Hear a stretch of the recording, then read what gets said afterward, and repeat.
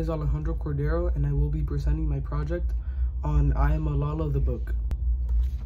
First, I'm going to start off with the summary. The book talks about Malala and her girls' education campaign. She was shot in the head by a terrorist group called the Taliban. The Taliban did not like girls going to school.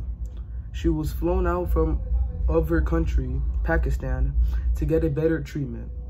The world soon knew about what happened and even more people supported her girls' education campaign. She was she won numerous awards because of her campaign on girls' education. The Nobel Prize, the Nobel Peace Prize is just one of them. She is the youngest person to receive this award to this day. And I'm gonna go to the next part of my project.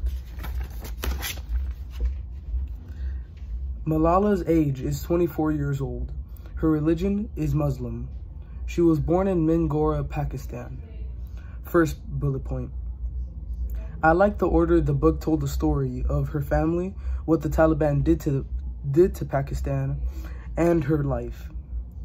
Second bullet point. The book gives you a perfect idea of what Malala, her family, and country went through because of the Taliban. Third bullet point.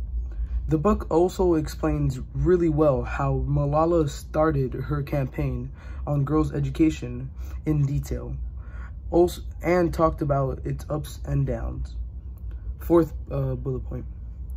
Something that I am Malala taught me, taught and showed me, is that life is unexpected and you don't know what can happen.